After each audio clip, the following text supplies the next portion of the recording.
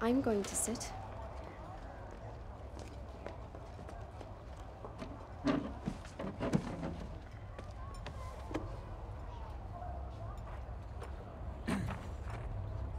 Can I order you something?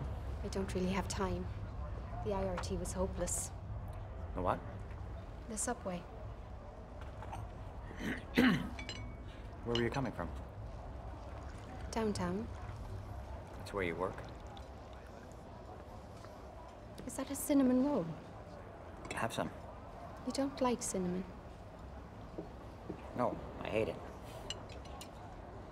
The woman who was sitting over there, well, she's gone now. She ordered one. For some reason, I got a craving. And why am I telling you this? I don't know. You're not going to say where you work? In an office. That sounds mysterious. We're traveling to Florida. But I'm supposed to tell you. You already did when you called. Really? I must be slipping. What else did I say? That you would be in the restaurant in Pennsylvania Station, and that there was something you thought I'd want to know. Eddie Kessler's gone. He left your service.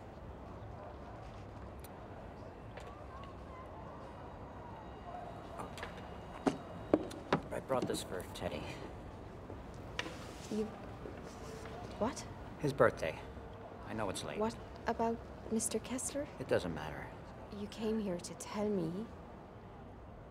I just thought you should hear it from me. He. I don't know why, but he.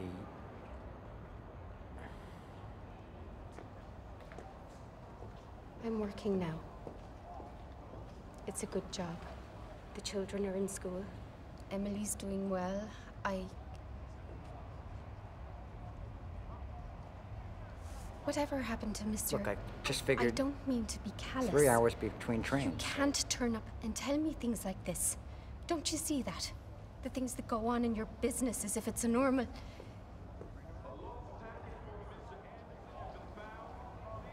I work. I pay my brother rent. A picture at the Loew's Kings Friday nights if I can stay awake. I'm trying to get on with it. Do you understand? Will you give this to Teddy? It's not some sort of creature, is it? We haven't the room. I wouldn't put something alive in a box.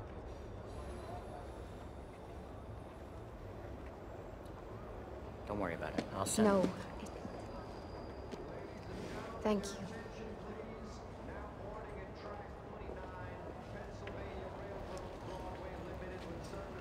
I. Have to get back to work. Yes.